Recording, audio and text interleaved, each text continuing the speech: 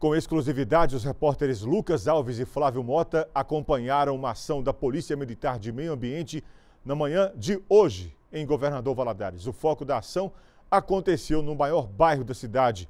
Entre os materiais apreendidos, objetos ilegais utilizados para pesca.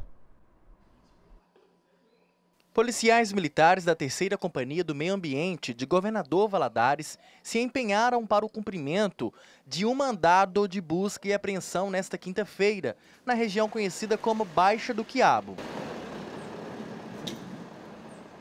O mandato de busca e apreensão foi realizado aqui no bairro Santa Rita, em Governador Valadares. Todo este material ilícito de pesca e redes foram apreendidos.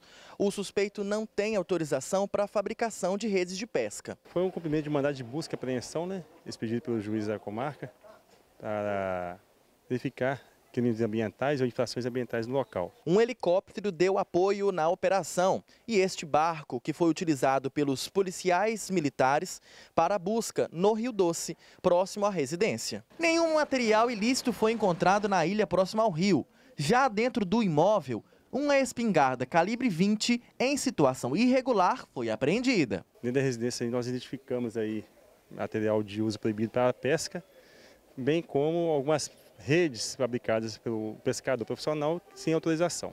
Três celulares, 38 armadilhas de pesca e material para rinha de galos também foram encontrados na residência e apreendidos. Segundo a polícia, um dos homens tem licença somente para pesca. Não, ele não tem autorização para fabricar rede não. Ele está fabricando de forma indevida e correta, né? Por isso que está sendo recolhido todo o material.